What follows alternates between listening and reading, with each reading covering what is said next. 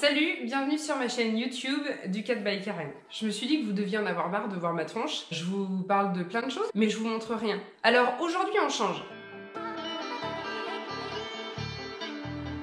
On va parler transmission secondaire, la chaîne quoi, serrage de roue arrière et autres détails concernant l'arrière de votre Ducati. On va parler graissage de chaîne. Vous allez me dire euh, que je vous prends pour euh, des couillons couillonnes, mais euh, non, c'est quelque chose de simple à faire et pourtant, il y a quand même pas mal de mauvaises façons de faire. Voici une chaîne mal graissée. Amas de graisse derrière le pignon de sortie de boîte. Les plaquettes de la chaîne sont graissées et ça ne sert à rien. Et pour finir, le pneu est graissé aussi. Alors lui, il va en prendre de l'angle. Hein. Ici, un kit chaîne correctement graissé. Il a même été nettoyé avant d'être regraissé. Et si vous faites attention, le propriétaire essuie de temps en temps les plaquettes de la chaîne. Comme ça, le minimum de saleté se colle dessus. Et pas de tas de graisse derrière le pignon de sortie de boîte. La méthode pour bien graisser son kit chaîne, déjà faites-le quand vous revenez, que la chaîne soit bien chaude. La graisse s'imprégnera beaucoup mieux entre les rouleaux et les plaquettes. On graisse vers le pignon de sortie de boîte à l'intérieur et on tourne dans le sens inverse de rotation habituelle.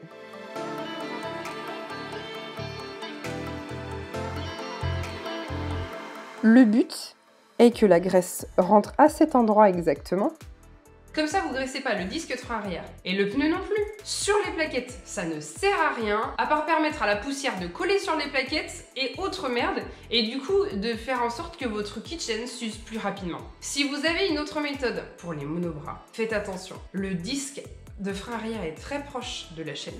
C'est très facile de le graisser. Donc allez-y mollo. Comme sur ces monobras par exemple. Vous voyez ici que la chaîne est proche du disque de frein arrière.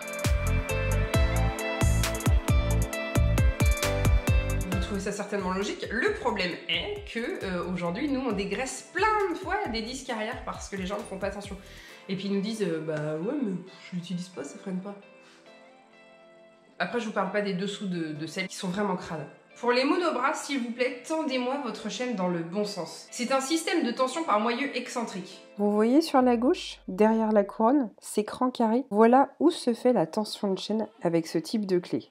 Ici, vous le voyez mieux. On voit bien l'endroit où on tend la chaîne grâce à l'excentrique.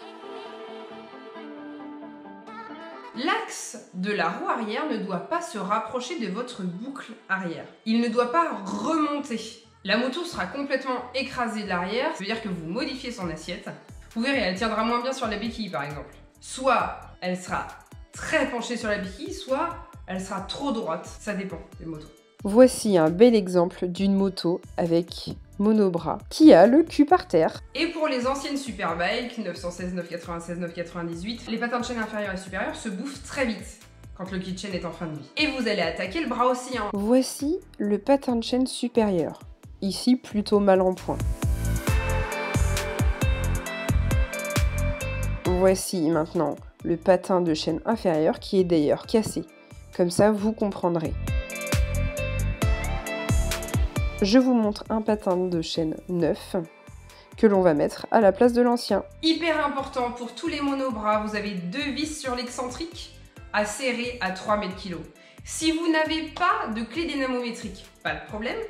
Vous faites une marque avant le desserrage, une marque au feutre peinture. Vous desserrez et vous resserrez exactement jusqu'à cette marque. Faites votre marquage de cette façon, sur la vis et sur le bras oscillant, avec un feutre peinture comme ça. Vous desserrez et quand vous resserrez, vous revenez sur ce repère. Vous verrez souvent sur les monobras des colliers rilsants sur les clips au niveau de la platine de couronne et au niveau de l'écrou de roue. Voici des exemples de colliers rilsants qui tiennent le clips de roue arrière d'un côté ou de l'autre. Hein. Ce n'est pas le rilsant qui fait le serrage. Si ce n'est pas serré, vous pouvez très bien avoir quand même votre clips et la roue, elle n'est pas serrée du tout. Votre écrou est pas serré sur l'axe. Et vous allez bousiller toute la jante. C'est très souvent le cas quand, les écrous sont, quand ces deux écrous ne sont pas serrés au couple. Quand le clips est en bon état, il n'y a pas besoin de ce rilzin. Mais bien sûr, il faut que l'écrou soit serré au bon couple. Donc pour les gros axes type 1098, 1200, 1198, on serre à 23 mètres kg côté chaîne et on serre à 23 mètres kg côté roue. Pour les petits axes, on est à 15,5 mètres kg côté chaîne et on à 17,5 mètres kg côté roue. Pour les démultiplications, vous êtes beaucoup à passer en pignon 14 parce que euh, vous trouvez que c'est mieux pour votre moto, pour la conduite, etc. Le plus intéressant, c'est de mettre une couronne avec deux ou trois dents de plus. Votre chaîne va tourner sur un plus grand diamètre et donc elle va s'user moins vite. Par contre, vous êtes obligé de le faire lorsque vous changerez votre kit chaîne complet, puisqu'il vous faut une chaîne plus longue, bien évidemment. Voici l'entretoise et voici le sens dans lequel elle doit toujours être sur face plane, contre le bras oscillant, sinon vous détruirez votre bras. Donc attention chez qui vous faites monter vos pneus par exemple? Il y en a qui savent, il y en a qui savent pas. Le couple à respecter pour toutes ces motos avec des bras oscillants simples est entre 8 mètres kg et 10 mètres kg selon les modèles. Graissez correctement votre axe, comme ici. L'axe, les filets et aussi votre écrou à l'intérieur et la surface plane. C'est comme ça que la plaquette de réglage de tension ne tourne pas en même temps que l'écrou au desserrage. Cette plaquette de tension de chaîne, cette platine, va tourner avec votre écrou au prochain desserrage et va bouffer tout votre bras oscillant comme ici.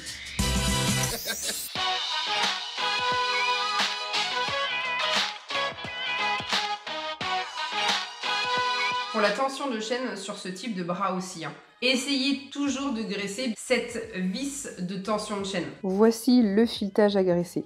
Impérativement. C'est lui qui permet à votre chaîne d'être tendue. S'il est grippé, c'est terminé. Il faudra changer le système.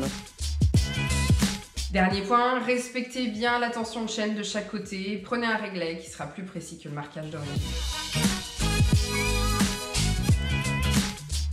J'espère que cette vidéo vous a plu. N'hésitez pas à liker, à commenter, partager aussi si vous le souhaitez. Suivez-moi sur Facebook, Instagram et bien sûr abonnez-vous à ma chaîne YouTube. Je vous remercie, à bientôt. Salut